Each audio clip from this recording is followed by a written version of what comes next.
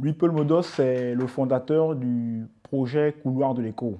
Couloir de l'écho est une plateforme web d'information d'affaires qui traite uniquement les sujets d'actualité économique, d'entrepreneuriat, d'investissement et de leadership d'affaires.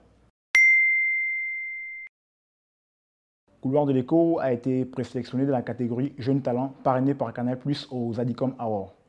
Je compétis face aux acteurs de contenu digitaux d'Afrique francophone. On a plusieurs acteurs du Sénégal, la Côte d'Ivoire, du Bénin, du Cameroun, du Togo et autres. Donc euh, nous sommes sélectionnés dans la même catégorie.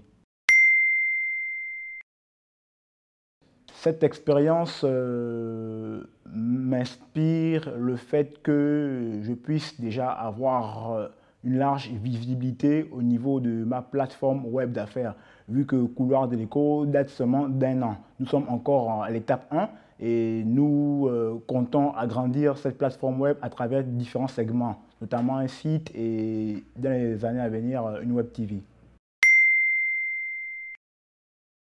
Mes réalisations à ce jour sont la production des contenus d'actualité économique, d'entrepreneuriat pour certains entrepreneurs gabonais et africains qui se démarquent et d'investissement.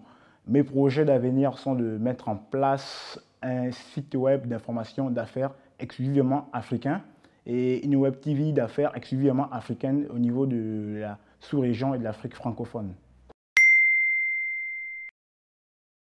Vous devez me voter premièrement pour euh, faire partie des cinq personnes qui seront finalistes à ce concours.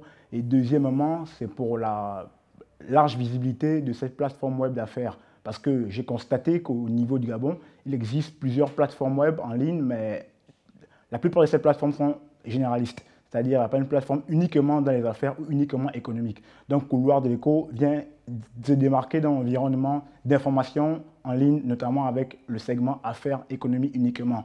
C'est la raison pour laquelle je souhaiterais qu'on puisse voter davantage pour moi pour promouvoir cette plateforme à l'échelle internationale.